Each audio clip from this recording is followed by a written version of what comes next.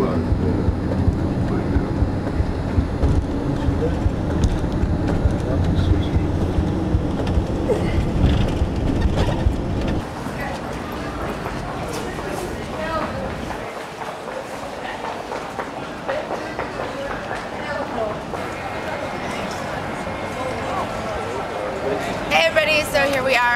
In Amsterdam. Um, we're on a day off right now and kind of strolling around and having a great time. Um, I'm just sort of on the borderline of the red light district. Kind of don't want to bring the camera in there because people get a little bit bitchy about that. Um, just hanging out by the hotel and everything.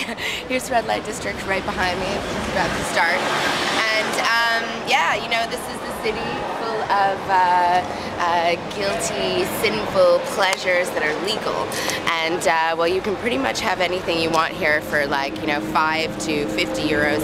Um, anyways, we're... What can we're, you get for five euros? well, we don't really want to know, do we?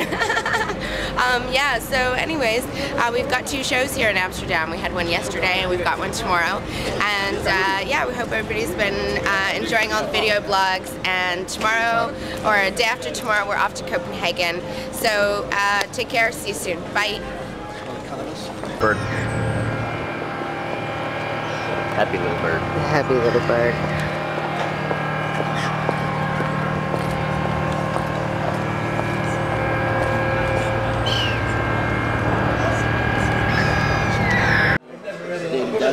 Because everything's set up. Hi, so I'm sitting here in the hotel bar here in Amsterdam, hanging out with a few friends, having a couple of drinks. Um, having a really good time.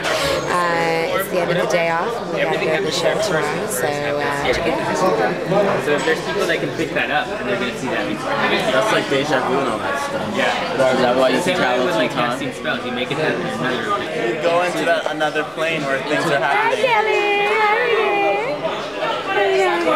Is that in your stars? What?